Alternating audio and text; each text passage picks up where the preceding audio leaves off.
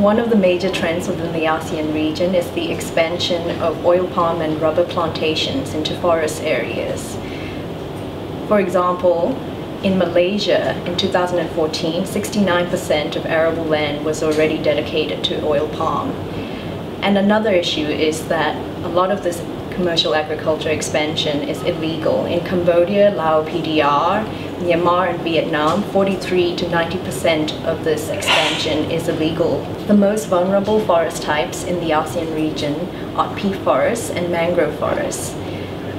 Their loss is going to have significant impacts on livelihoods as well as climate change because of their major carbon sequestration potential.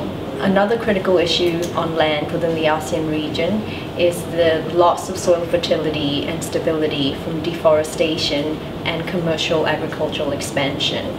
Um, deforestation can lead to soil erosion and the intensive use of chemicals for commercial agriculture can lead to lowered soil fertility. Updated research on this is important because already in 1997, 53% of Thailand soil was categorized as having lost its soil fertility.